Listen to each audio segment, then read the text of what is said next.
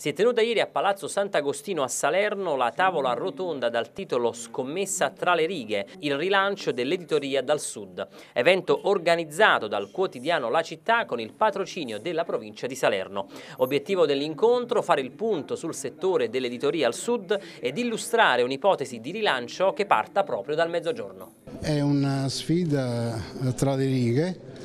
perché noi intendiamo ragionare su quello che c'è oggi ma soprattutto su quello che potrebbe esserci domani con tutte le sfide che la tecnologia ci dà ma anche con tutto il rigore professionale che una realtà mutata ci impone. Diciamo che abbiamo iniziato con la nuova presidenza che ho assunto nel mese di luglio, ci siamo dati degli obiettivi molto molto forti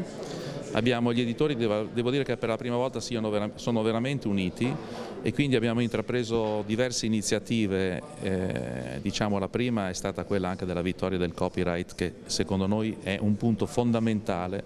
per remunerare il vostro lavoro, il lavoro dei giornalisti, il lavoro dei letterati, il lavoro dei poeti, il lavoro dei cantanti, quindi questo è molto importante. E poi invece abbiamo da ricostruire il rapporto tra le istituzioni e i lettori perché la politica in questo momento sta veramente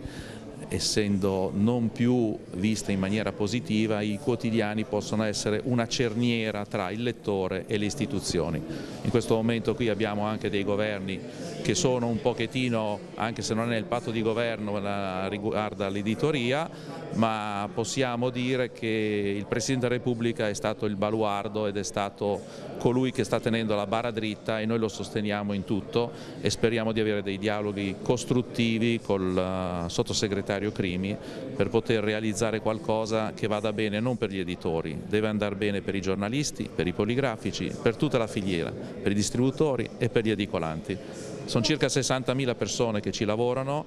e il lettore deve avere un giornale di qualità. Per avere un giornale di qualità il giornalista deve avere a disposizione dei mezzi per poter documentarsi bene, per non sbagliare foto, per avere il tempo di preparare l'inchiesta come si deve. Si parla molto di fake news in questo momento e devo dire che si sono resi conti a livello mondiale che le fake news stanno dando dei danni incalcolabili diciamo, proprio alla crescita di ciascuno di noi. Quindi i prossimi passi sia in Italia che in Europa sarà quello di dotare di un bollino di qualità coloro che sono sia nella carta stampata, sia nella televisione, sia nella radio, dei brand riconosciuti di qualità, che fanno un lavoro serio, obiettivo, senza fare della demagogia.